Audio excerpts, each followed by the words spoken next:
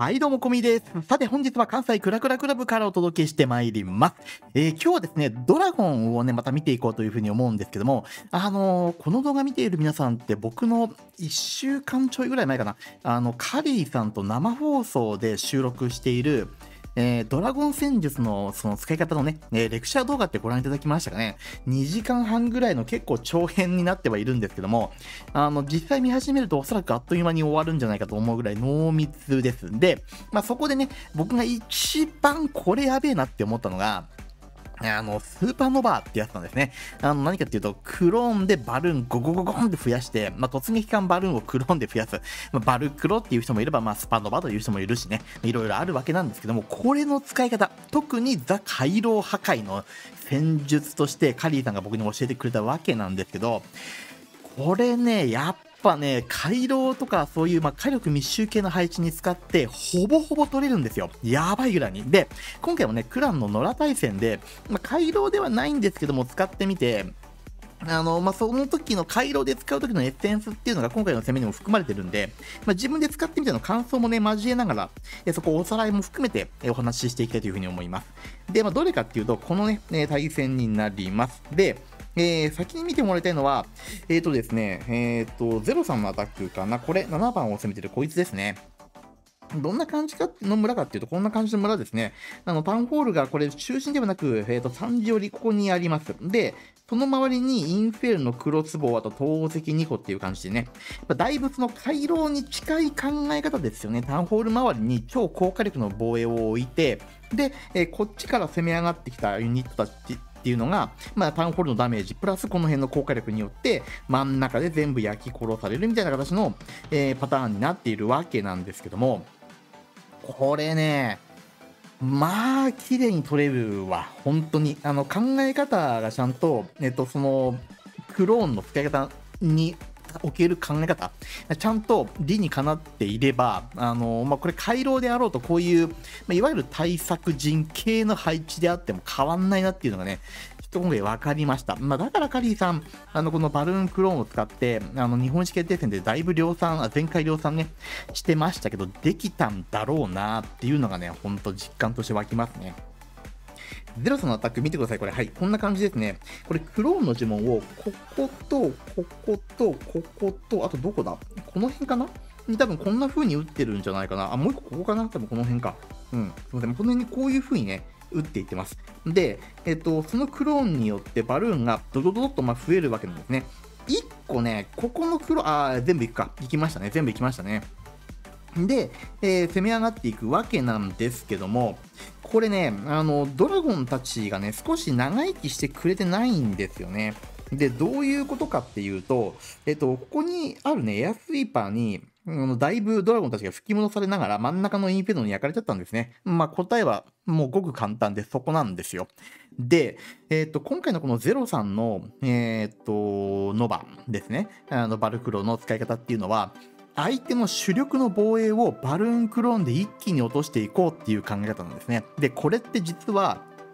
あの、多くの方がこの考え方でバルーンクローン使ってんじゃないかと思うんですよ。バルーンで防衛を壊す。これが仕事だと。防衛、つまりは効果力。えー、ここでいうところのタウンホールと投石機を壊すっていうところにめちゃくちゃ皆さん、重きを置いて使ってんじゃないかなって思うんですよね。だけど、まあ、カリーさん曰く、まあ、そうじゃないよってていう話なんですよ。まあそうなんですよ。もちろん、効果力を壊さなきゃいけないんですよ。じゃなかったら意味がないっちゃ意味がないんですけども、まあそれだけではないんですね。クローンを使って効果力を壊しながらドラゴンの誘導、あとヒーローの誘導、さらにはヒーローの延命、この3つをできているかどうかってことなんですよ。その1個1個のクローンが今言ったヒーロー延命、高火力体の撃破、さらにドラゴンのためのサイドカット、この3つにちゃんと全部役立ってますかってことなんですね。で、そこで考えたときに、ちょっと見てほしいのは、今、えっ、ー、と、ゼロさんが使ってたクローンって、ここと、まあ、多分この辺にこう使ってたわけですね。こういう風に。多分、ちょっと1個ぐらいずれてるかもしれないです。こんな風に使ってたわけですよ。そうすると、こっちに打ったえっと、3枚のクローンっていうのは、あのまあ、個人的な意見ですけどね、えっと、ヒーローの長生き、プラスドラゴンたちの、ね、サイドカット、さらには高火力体の、えー、破壊、この3つの、えっと、意味を兼ねてたと思うんですね。ちょっと後でこの絵を消しながらちゃんと話します。ただ、ここに当てたクローンって何の意味があったのかなっていうと、透析機を壊すためのクローンなんですね。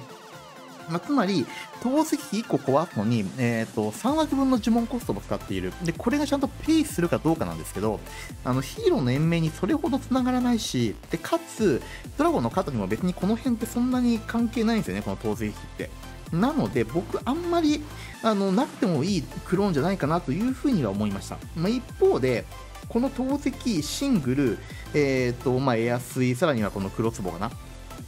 このラインをクローンで一気にこういう風に壊していくっていうのは、理にかなってると思うんですね。まず、えっ、ー、と、タウンホールだったり、クロスボウを、えー、透析機っていう高火力体を壊してます。まあ、シングルインフェルノも含まれますね。でさらにこの陸のクロスボウ、こいつですよね。これが、えっ、ー、と、ヒーローたちがこうね、えっ、ー、と、三次側から歩いてくるときに、えっ、ー、と、キングだったりクイーンを殴り続けるんですよね。しかもこの場所が悪い。この位置ってクイーン殴れないんで、これ壊せないんですよ、クイーンでは。で、えっ、と、永遠と歌い続けちゃう。で、さらにここを壊すことによってドラゴンがこの面で出てくるわけだから、サイドカットがこういう風に効きますよね、こういう風に。まあちょっと終盤広がっちゃうのはまあ若干嫌っちゃ嫌なんですけども、本当はね、終盤狭めていきたいんですが、ヒーローこっち側にこうね、使うんだったら、こっちね、まあ、反対側どうしても広がっちゃうところはありますからね、まあ、そこはいた仕方ないにせよ、この辺のね、防衛を壊すことによって、ドラゴンたちがみんなこういう風に流れていくっていう絵が描けますよね。ここ別に壊してもヒーロー、あとドラゴンたちのそのカットには効果がそんなないっていうことが、まあ、絵的にはわかると思います。ただし、透析機ってものすごく怖いと思うんですよ。なんで壊しておきたい。その気持ちはよくわかるんですけども、えっ、ー、と、ちょっとですね、えっ、ー、と、僕の、えー、この、えっ、と、ゼロさんのアタックの、まあ、反なぞり的なやつっていうのも見てもらえると思います。まあ、反っていうか、ほぼなぞりね。ほぼなぞりです。こんな感じですね。あのね、ユニットの残り方が全然違うんですよ。で、えっ、と、まあ、僕は当然なぞりなんで、この辺に哲也が出てくることが分かったから、あのライトニング、あとね、すいません。そうそう、ライドラをこっちから使っていくんですね。使っていって、ライドラね、これ当てていって、ここ、ライトニングの呪文で折っていきました。これね。あの、クローンの枠をこれかける3にしているので、3枠順、3枠分呪文に空きがあるんですね。なんで、えっ、ー、と、ライトニング2発のフリーズ1発持っていってます。で、えっ、ー、と、まあ、前の攻め見ていて、めちゃくちゃ足止めを食らっていたこのエアスイーパー、これを序盤にライトニングで折っていきます。そうすることによってドラゴンの進行っていうのがめちゃ速くなるんですね。ライドでこの9時方面カット、キングとクイーンは上側から入れていきます。で、これからどうなるかってことですね。ちなみに、この防衛援軍、アイゴレとラバが入ってます。さっきのゼロさんのアタックは、どちらの援軍も釣ってませんでした。でも僕は、下手をして釣っちゃいました。この辺はちょっと、えっ、ー、と、反省ですね。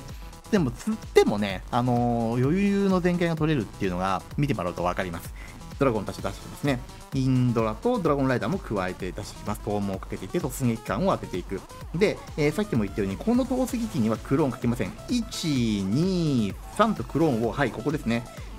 ポン、ポン、ポンとこんな感じで打っていきますね。で、これによって、えー、増えていったバルーンがドドドドッとこんな感じで、はい、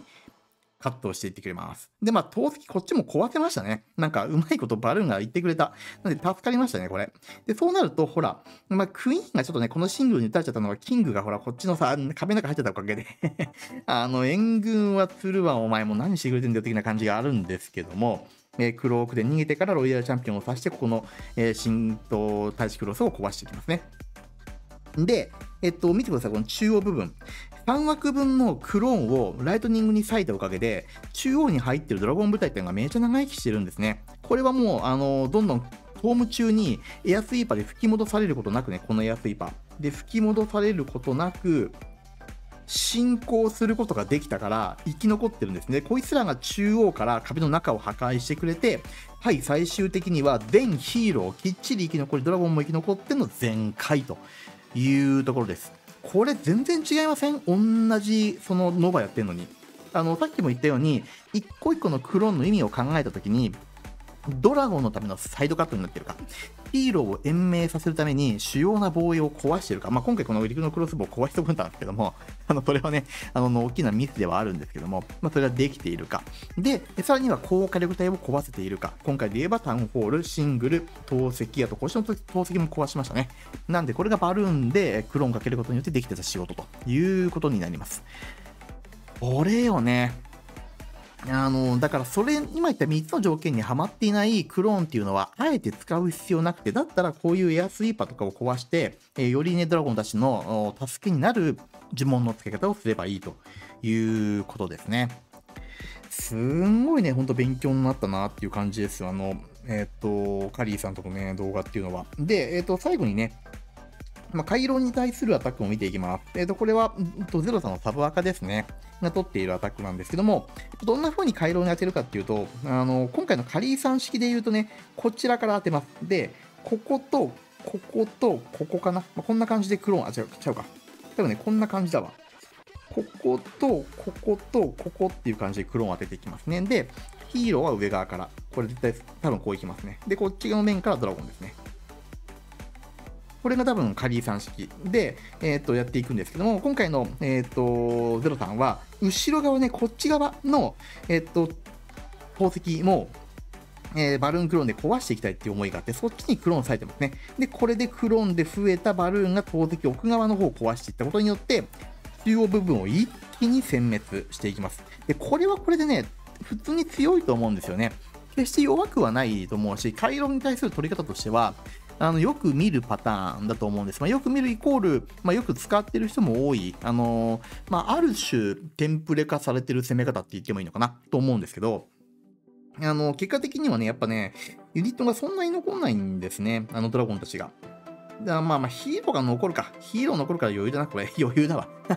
すいませんでした。あの、なくなっちゃ失礼失礼でしたね。で、えっと、まあ、今回のアタックみたいに裏側の投石機を壊せると、あの、だいぶね、やっぱりドラゴンたちが延命されるんですね。この裏側に防衛があると、そっちにドラゴンが向かっちゃって、ポイズンのダメージをめっちゃ食らうんで、食らっちゃうんですけど、奥側壊すことによって、こっちには行かず、両サイドにこう流れていくので、まあ、そういうルートが作れるっていう意味で、この奥側の宝石の方を壊しておくっていうのは、えすごく重要な、まあ、役目になるんですけども、さっき多分カリーさんならこうするだろうなって言ったのは、ここね、こことこことここに当てることによってさっき言った、えー、ドラゴンたちがこういう風に進むことができるようにするためのサイドカットをね、行うって意味がある。さらにここからヒーローが出てくるわけなんですけども、えっ、ー、と、投石だったりクロスだったり、まあ、この辺のね、防衛っていうのを壊すことによってヒーローがちゃんと最後まで回ることができるということですね。特にアーチャークイーンですね、こいつが回ることができるというのが大きいですね。で、さらに今回なんでこの面なの、こうしちゃダメなの？っていうと、トルネードトラップの位置ですね。トルネがここにあった場合ってドラゴンたちがこう回、あ、バルーンがとかね、がこう回っちゃうんですよ。そうすると、こっちにクローン打ったにもかかわらず、こっちにぐるって回らされちゃったら、クローン不発に終わりますよね。これめちゃやばいんですよね。なんだけど、トルネードトラップって反時計回りに必ず回るから、上側から行きさえ、行きさえすれば、仮にね、ここにトルネードがあったとしても、こう回るわけですよ。そうすると、クローンの上に勝手に突撃艦が回っていくんで、あのバルクロの不発がないんですね。なんでこの面から行くっていうことを考えると。まあ、いうところですね。あの、どちらが正解かっていうと、あのー、今のゼロさんのね、このアタックもかなり綺麗に決まってるんで、十分、あの、正解の一手だったと思うんですよね。なんだけども、やっぱりその、うん、クローンの打つ位置、トルネの、えっ、ー、と、回り方、さらには、えー、なんだ、えっと、ヒーローとドラゴンのサポートにもなるバルーンクローンの付け方という点でいくと、なんかどんな村にもある程度当てはまるロジックとしてはカリーさんのその考え方っていうのは結構あの合理的でいいんじゃないかなと、やっぱね、自分で使ってみても思いました。なのでね、あの、まあ、いろんなノバの使い方はあると思うんですけども、うん、カリーさん式っていうのも、ぜひね、今回の動画で、ああ、なるほどと思っていただけたら嬉しいと思うし、もしね、そう思っていただけたり、またはちょっともう少し、あの、それ詳しく聞きたいなというふうに思っていただいた場合には、僕のね、あの、加工動画で、えっ、と、ライブのアーカイブ残ってます。あの、カリーさんのね、2時間半ぐらいみっちりドラゴンの練習したやつが残ってるんで、その最後の方に、このね、えー、ノバの、えー、使い方っていうのは、ね、出てきてますから、ぜひね、そちらの方をご覧いただいて、理解深めて使いこなしてみていただけたらというふうに思います。はい、というところでですね、本日はスーパーノヴァのね、ね回路も、まあ、中心って言っていいのかな、まあ、高火力帯ないしは回路系の、まあ、そういった配置に対する指し方というところを改めて復習、自分のその実体験も交えながらお話ししていきました。こんな感じで僕の動画ですね、チャンネル、えー、クラン体制の解説系の動画中心にやっていきますので、えー、この動画もいいなと思ったらグッドボタン、チャンネル登録よろしくお願いいたします。そしてこれからもご視聴いただけたら嬉しいです。では最後までご視聴どうもありがとうございました。また次の動画でお会いしましょう。バイバイ。